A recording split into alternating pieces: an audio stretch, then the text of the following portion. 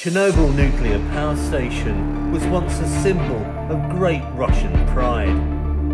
But others disagreed. Даже нельзя назвать и аварией. Это катастрофа, которая не мыслилась.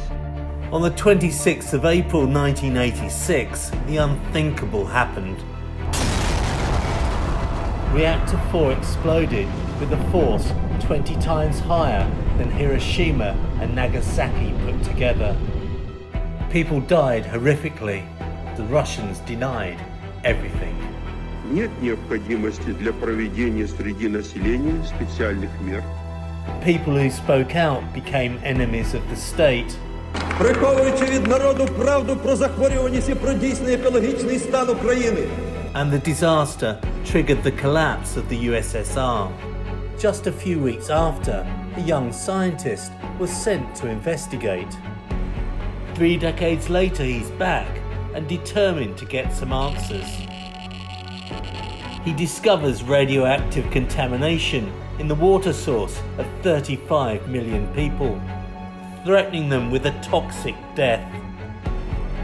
He visits abandoned towns that are post apocalyptic nightmares finds out that highly irradiated houses were buried, then left to seep their poison into the river.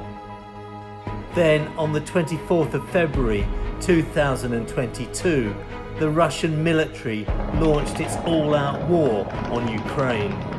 And on that very first day, they captured the Chernobyl plant and marched 170 staff away. Nothing has been heard of them since. Then Russian soldiers inexplicably dug trenches in the highly contaminated red zone, exposing themselves to unprecedented amounts of radiation. President Putin eyed up the plant as a potential weapon, whilst openly threatening nuclear war on the West.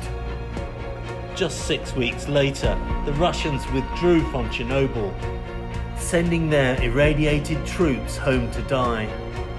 And the same fate may await the 35 million people who live downstream. The Chernobyl power plant is a bomb that keeps ticking.